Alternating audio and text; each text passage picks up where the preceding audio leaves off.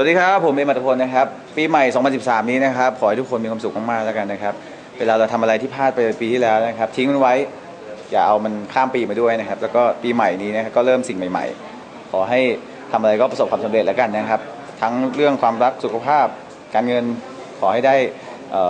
ดีขึ้นเรื่อยๆ จากปีที่แล้วนะครับ มีความสุขมากครับผม